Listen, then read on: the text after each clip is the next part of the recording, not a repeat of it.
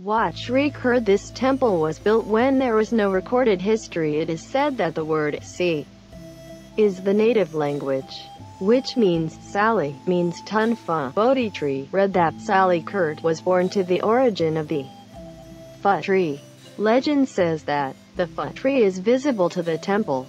Since Phra Kavila taken the seeds from the Buddha and then planted at this temple,